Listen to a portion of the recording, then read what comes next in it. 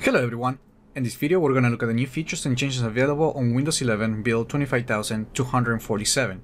In addition this video will cover the changes from previous releases until build 25217. These changes are not tied to any specific release of Windows 11, however, some of them are expected to arrive as soon as they're ready through feature drops updates and some others may arrive in the next feature update scheduled for the fall of 2023 or even in the next version of Windows which could release on 2024. Okay, here's what's new on Windows 11 build 25247 and previous releases.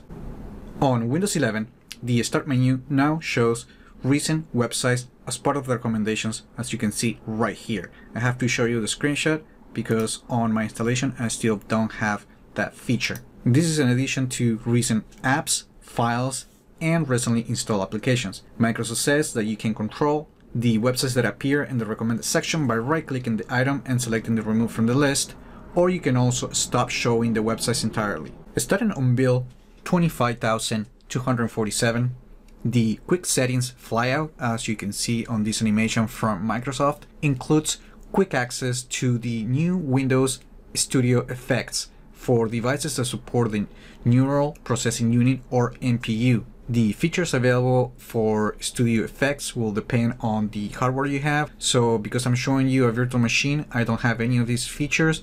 However, they can include camera effects such as background blur, eye contact, automatic framing, and audio effect. As part of the uh, changes on the taskbar, more specifically for the search button right here, the company is now experimenting a new way to show tips on how to use search and depending on how you use search you will now sometimes see pop-ups as you can see right here on this screenshot from Microsoft that tells you how to use search just using a keyboard shortcut.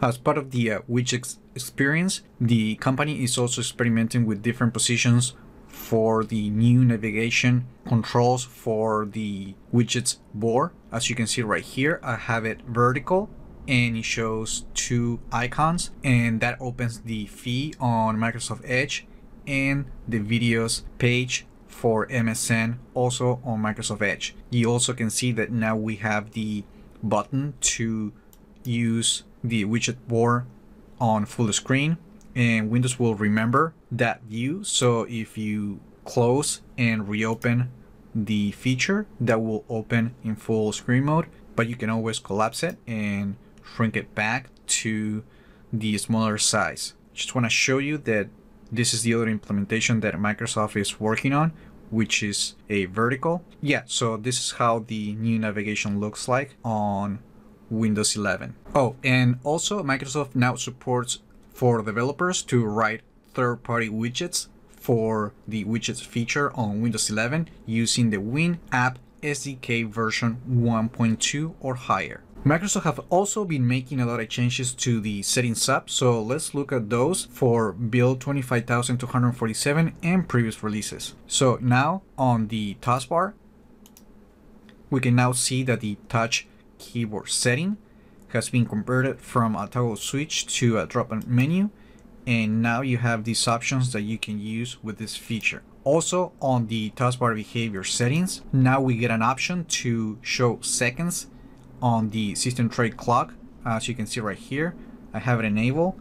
So now we have the hour, minute, and seconds showing on the system tray. In the power settings, now we have a new option called energy recommendations. And inside here, depending on the hardware that you have and how your computer is configured, Windows 11 will now suggest ways to change the settings to save energy and lower your carbon footprint. You can do it one by one, and you also have an option to apply all the recommendations. Also, the account settings page will now show a warning when your OneDrive account is running out of space with an option to purchase more storage. The storage usage warning is not only for OneDrive but also for all the Microsoft services that uses storage in the cloud as you can see right here on this screenshot from Microsoft. On build 25227 or higher releases, Windows 11 will now sync your voice typing and automatic punctuation settings across devices as long as you're using the same Microsoft account. If you don't like this feature or you want to change the setting, you can do so from the Windows backup setting, more specifically under Remember My Preference section and by clearing the accessibility option. On the disk management feature on the settings tab, when you go to the properties from a disk and you try to change the partition style, you will now get a warning that you might lose your data if you change the partition style. Also on the network and internet settings, more specifically on the internet, on the ethernet settings, also on network and internet, more specifically on ethernet, the page will now show you the default gateway as part of the summary for the networking settings.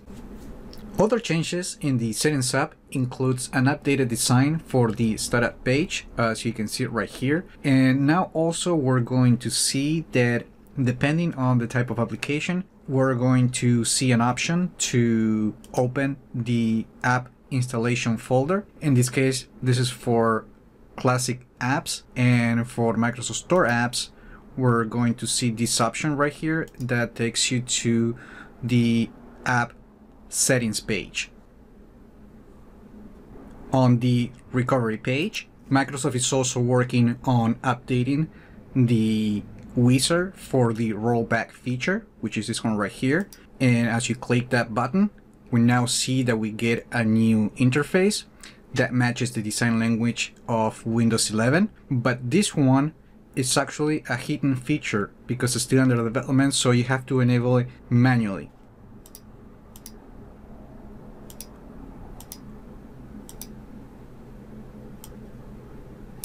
Also, on the About page, under the related settings, we're going to find an option called Trade in or Recycle Your PC that gives you related links to back up your data or remove your data from the computer plus another link which right now it doesn't link to anything relevant.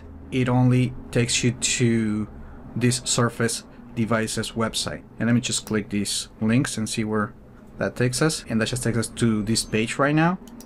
And this just to another help page for Microsoft to back up your folders to OneDrive. As part of the uh, suggested action feature changes, when you now select and copy the text, you will now get an option to search that selection on the web, more specifically using Bing and Microsoft Edge. But you can also click the menu button to access the settings. Of course, if you're of course, if you select a different type of data, such as a phone number, when you copy that information, you will get suggestions to make a phone call in this case, or use the phone link app.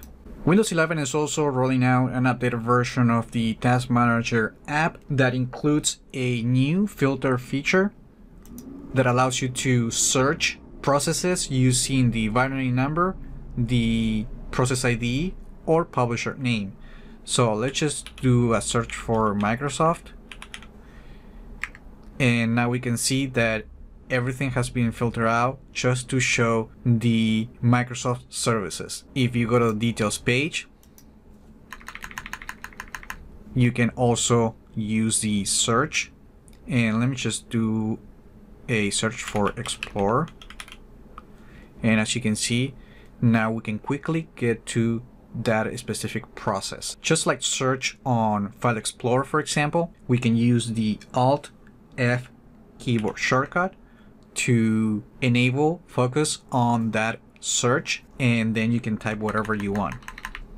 But that's a good way to start the search using the keyboard. Another important change on the new task manager is that now we have the option to change the theme color to light or dark independently for the system color scheme. In the past, the app were able to switch between the two themes, but it will only respond to the system theme that you have configured on your computer. But moving forward, you can choose the theme that you want. For example, now we can switch it to the dark mode while we have the light theme across the system. In addition, Microsoft is also updating some of the UI that hasn't been updated yet. And on this case, the dialog box that appears when you do certain actions will now use the new modern design that we're seeing across Windows 11. Finally, this version of the app makes it easy to apply efficiency mode and offers the ability to opt out of the confirmation dialog as you can see right here. And those were pretty much all the most interesting improvements and new features available on Windows 11 build 25247 and previous releases until build 25217. Remember to like the video, leave your comments, subscribe to the channel if you haven't done that yet, and I just hope this video was informative for you and I would like to thank you for viewing.